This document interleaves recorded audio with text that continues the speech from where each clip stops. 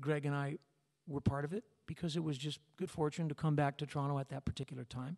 I feel proud, and I'm always happy when when a fan comes up and tells me a travel story of how they took our song to some remote place that they were going and either played it for somebody from a different country or simply used it to remind themselves of home.